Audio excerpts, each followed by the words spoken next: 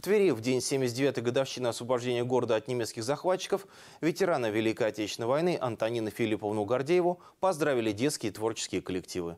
К дому, где она проживает, приехали участники театральной студии «Фантазеры», студии эстрадного вокала «Хочу петь» и других. С соблюдением социальной дистанции и всех эпидемиологических требований дети исполнили во дворе дома песни и стихи, посвященные Великой Победе. Антонина Филипповна родилась в 25 году. Летом 41 года закончила 9 класс. Свой боевой путь она начала на Калининском фронте. Войну ветеран прошла в составе 31-й армии, одной из двух, которые 16 декабря 41 года освободили Калинин от фашистов. Принимала участие в операции «Багратион», завершила боевой путь в Восточной Пруссии.